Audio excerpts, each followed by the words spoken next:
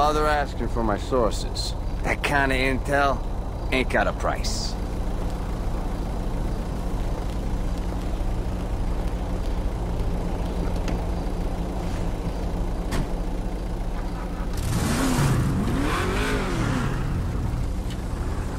I should probably get out of here soon, too.